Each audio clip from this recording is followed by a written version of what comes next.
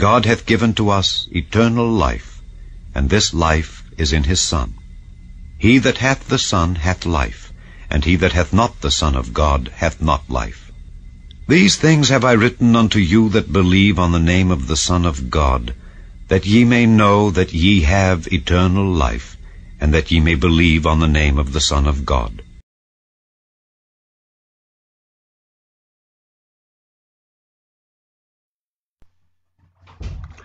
Good morning. It's Larry Johnson, pastor of Sunny Baptist Church. We're glad to be back with you this morning. And the sad part of it is, is the, the virus has still got the doors of our church closed. Matter of fact, the state of Alabama has even gotten worse. But we need to pray one for another. We need to pray that God will move and, and clear this stuff out. But I'm thankful that we still have a way to reach our church people and other people too. And I pray that you always remember uh, Sunday Eve because it's a great place to go to church, great people. But I want you to, them to know that I love them and I'm willing to work with them any way that we possibly can to lift up the name of the Lord Jesus Christ. Before we get started, while you're turning over into John chapter number 19 and verse number 16, our Heavenly Father, as we come again, Lord, we thank you, our Father, for the time that you went to Calvary for us. Lord, that you made it possible that we're able to get saved. I pray, Lord Jesus, today, Lord, that you would bless wherever that there may be a person somewhere that needs to hear the Word of God.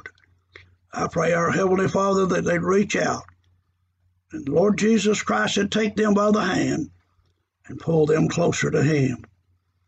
He, has he said, All ye that labor and heavy laden, come unto me, and I will give you rest.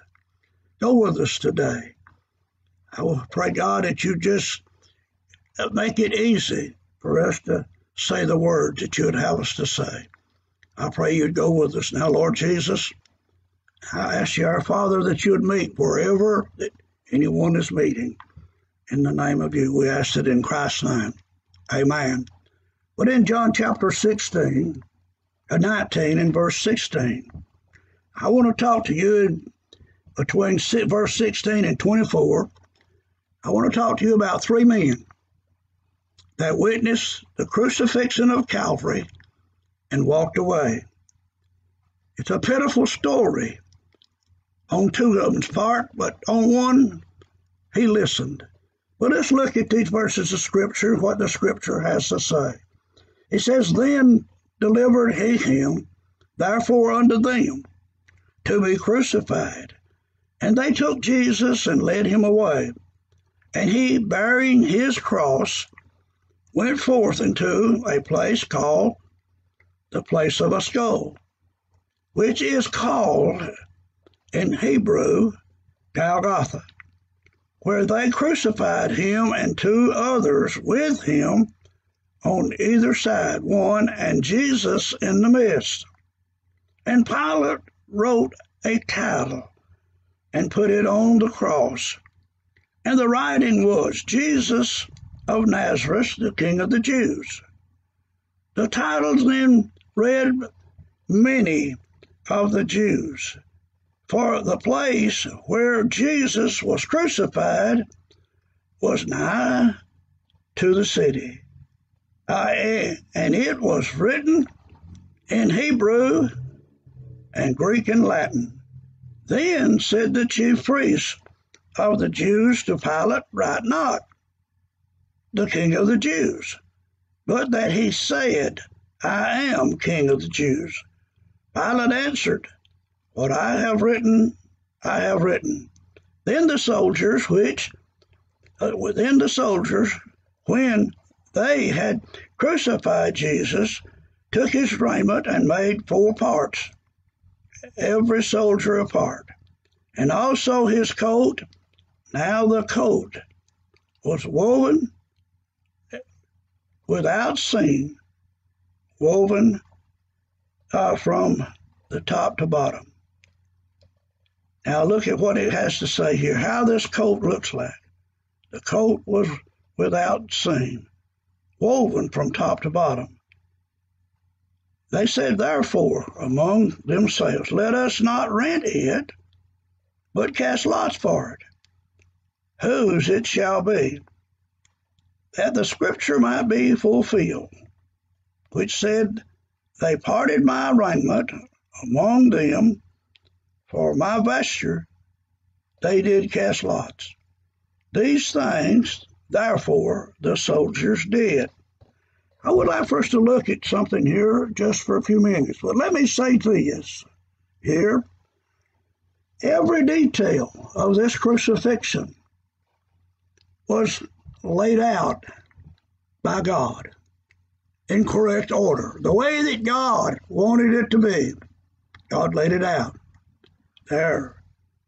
And also Calvary uh, is one that uh, that needs to be seen, and also, or let me re, uh, reclarify that.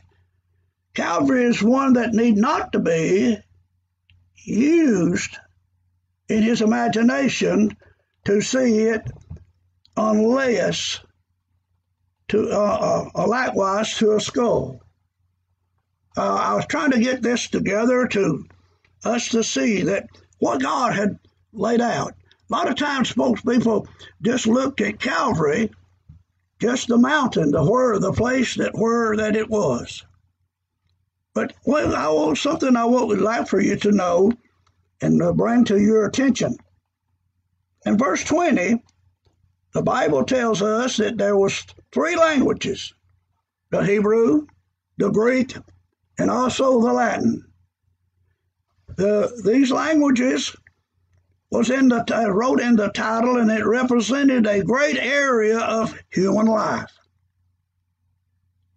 God has got it worked out for every person in this entire universe to be able to understand what Calvary is all about.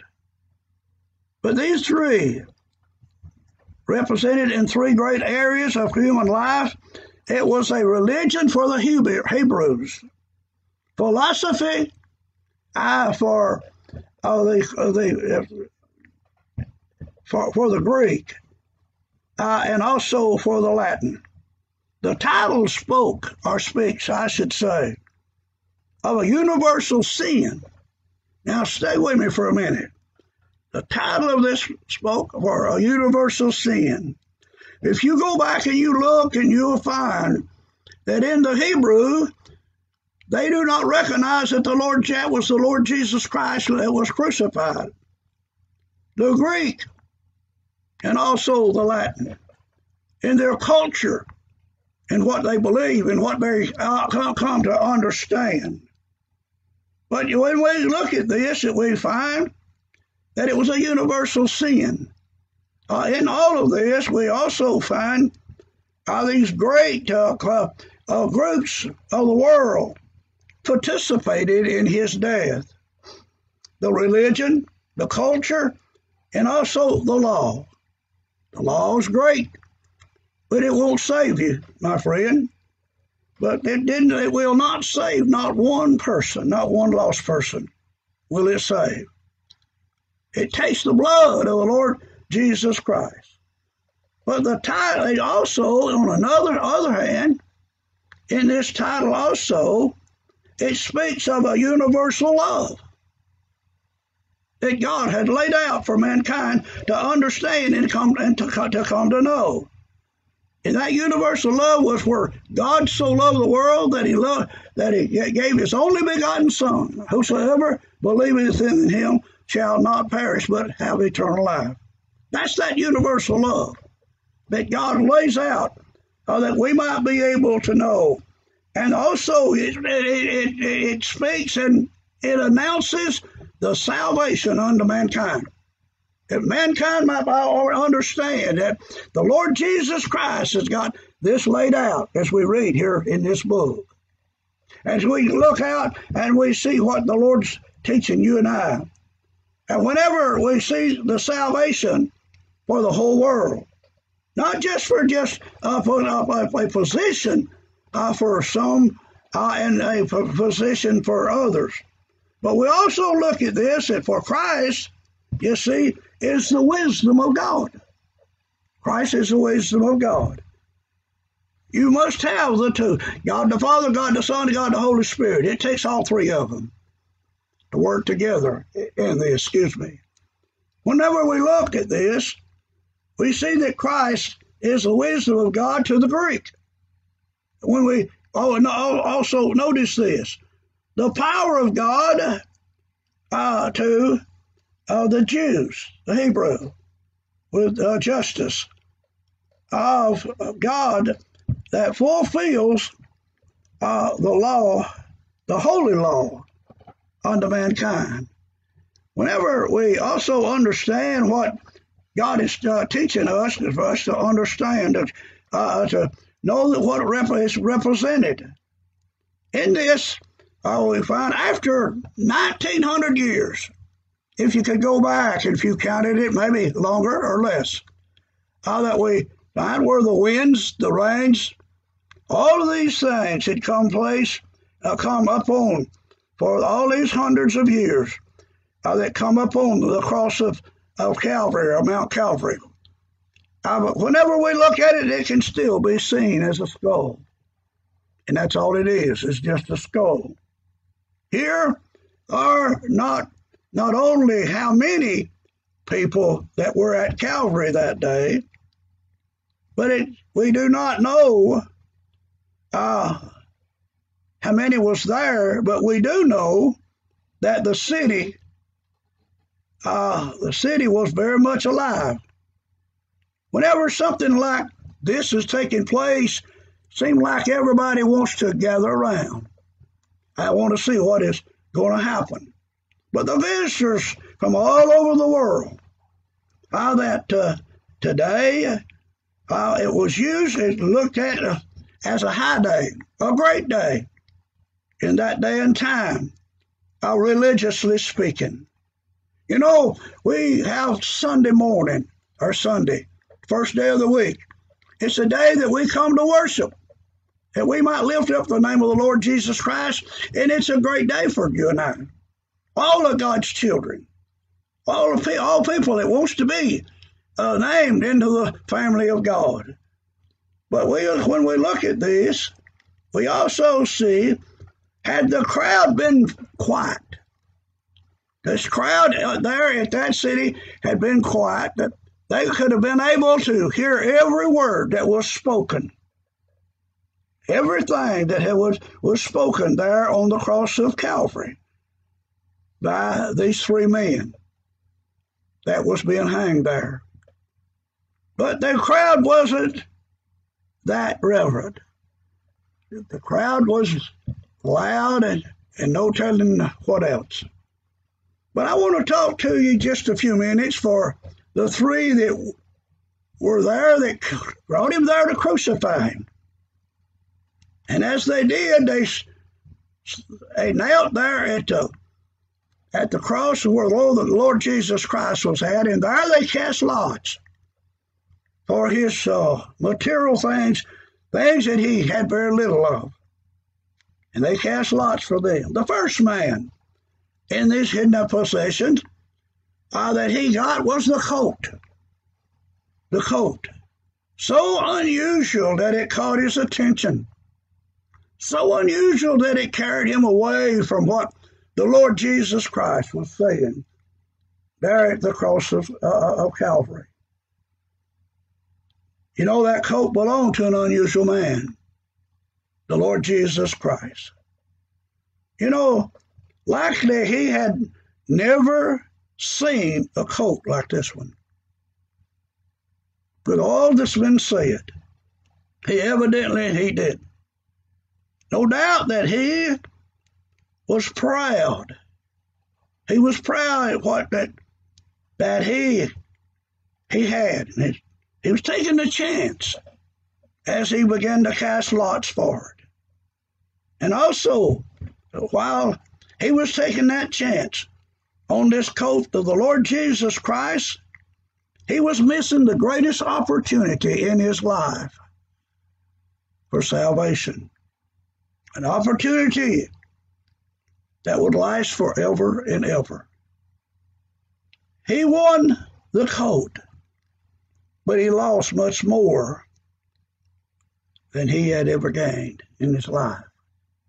He lost more than he ever gained by in this walks of life. Jesus was here hanging on the cross of Calvary. Now, on this cross that, that day, the cross for about, he was on that cross for about six hours from nine until three that afternoon, nine in the morning to three in the afternoon. While hanging there, he spoke seven times, but no one heard, or it appeared that. But also, when we look at this, we see here that uh, and that afternoon, as he hung there, he spoke these seven times. The soldiers were busy casting lots for his clothes, for the materials that he had. Probably did not, they probably did not hear uh, anything that was said. However, there was some that did and, and, and, and, and had come and had accepted Christ uh, as their Savior. But this soldier here had his eyes was up on this coat, not on the Lord Jesus Christ. There's things going on in this world today that keeps individuals' lives off of the Lord Jesus Christ. It keeps people out of the church where they should go. I got, got an excuse I can't make it today. Maybe later. I don't feel good. So many things. I could go on and on and on. I'm not that way about just picking things. But I am here to tell you, my friend, that we need to open our eyes and our ears to be able to understand that we accept the Lord Jesus Christ as our Savior. God sent him here that he might be, that he may be the sacrifice for my salvation and for yours. But whenever we look at this, the words that Jesus had said would have brought salvation to this poor man's soul. He could have been saved. But he took chances on the garment instead of salvation. You know, over in the book of Romans, the Bible says this God, in, in, in chapter 14, verse 11, every knee shall bow to me, and every tongue shall confess to God. You see, it teaches you and I and tells you and I all of this that's going to take place and the garments and the things that took place that day. There was another man, another man, the second man. Over in verse uh, number 34 in chapter 19, the Bible says this said, But one of the soldiers with a spear pierced his side, and forthwith came there out blood and water. Now let's look at this for just a minute in verse uh, number 31, the Bible tells us that the Jews went to Pilate and they asked for him uh, to go and break the legs of the three crucified men that it may hasten uh, their time of life. Because the next day was going to be the high day, the great day that we talk about here as we talk about what the holy day is. they wanted to break the legs of those crucified men and their bodies to be taken down and carried away. They wanted this done. Now, as they began to go to break the legs of these three men, and uh, there that as they did, uh, they didn't want them on the, up on the, uh, the cross there on that high day. But when they had come to Jesus, they saw that he was already dead. In John chapter 19, verse 36, it says, For these things were done, that the scripture should be fulfilled. A bone of him shall not be broken. Here is God lays it out to you and I. That what God was teaching, they may crucify him, but they could not bone, break a bone in his body. It was not to be broken. Right here, as we look at this, we also see that now Jesus had said during his ministry, No man take my life from me, but I lay it down of my own self. I have power to lay it down and I have power to take it up again. John chapter 10, verse 18. This is what the Lord Jesus said himself. Don't get it through your head that, that they had power over him, but not so. This was what was laid out. God had laid this out for this crucifixion. As I made the statement in the starting of this, that every detail about this crucifixion I was clearly and surely laid out by God. Every detail of it as we look at it. But the commandment, this commandment, excuse me, have I received of my Father, is what he said. Now, all the soldiers except one was satisfied. This is something that a lot of folks cannot understand. Neither am I. But I know that it was told in the Bible. Told in the Bible. But one came up to the man on the middle cross. All the others, they were satisfied. And this man on the middle cross was already dead. So, what more could could be desired of them for it to be taken place. But here, one had the spear and pierced his side. What a cowardly act that we find out that it took place. That was the second man. Thank God for the third. The third man well, let me next read, read you a verse of scripture in Mark chapter number 15, verse number 39. The Bible says, And when the centurion which stood over against him saw that he was so, that he so cried out and gave up the ghost. He said, Truly, this man was the Son of God. He recognized him for what he was, who he was. This man had he had looked upon him.